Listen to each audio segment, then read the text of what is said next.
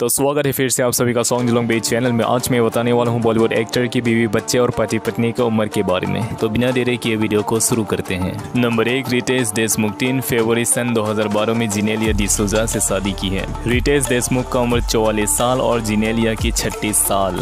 और उन्हें दो बेटे हैं। उन लोगों का नाम रियान और रहील है। नंबर दो, अक्षय कुमार सत्रह जनवरी दो हज़ार एक में ट्विंकल खन्ना से शादी की है। अक्षय कुमार का उम्र पचपन साल और ट्विंकल खन्ना की अड़तालीस साल। और उन्हें एक बेटा और एक बेटी है। बेटा का नाम आरफ और बेटी का नाम निटारा है। नंबर तीन, इमरान हसमी चौदह दिसंबर 2006 में परवीन साहनी से शादी की है। इमरान हसमी का उम्र चौवालीस साल और परवीन साहनी की उनतालीस साल। और उन्हें एक बेटा है, बेटा का नाम आयन। नंबर चार, सोनू सूद पच्चीस सितंबर एक में सोनाली सूद से शादी की है। सोनू सूद का उम्र पचास साल और सोनाली सूद की सैतालीस साल।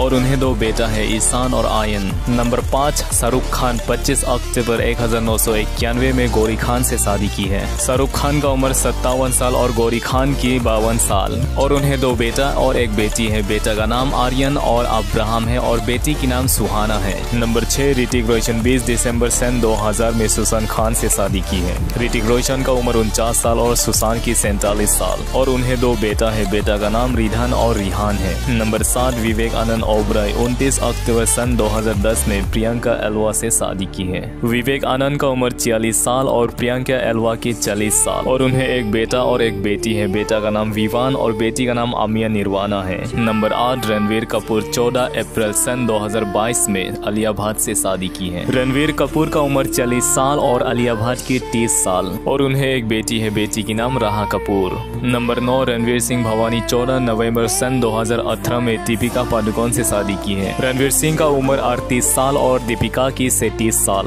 और बच्चे की बात करें तो दीपिका और रणवीर सिंह को बच्चे पैदा करने का इच्छा नहीं रखते। नंबर दस, वरुण धवन, छब्बीस जनवरी सन 2021 में नताशा दलाल से शादी की है। वरुण धवन का उम्र 36 साल और नताशा दलाल की 35 साल। और उन्हें एक बच्चे हैं। बच्चे के नाम इंटरनेट पे अपडेट नहीं किया। तो आज की वीडियो इतना ही। अच्छा लगा तो लाइक सर को मैं ज़रूर कर देना। बुरा लगा तो डिसलाइक कर देना। बस इतना ही। चाहता हूँ और कुछ नहीं।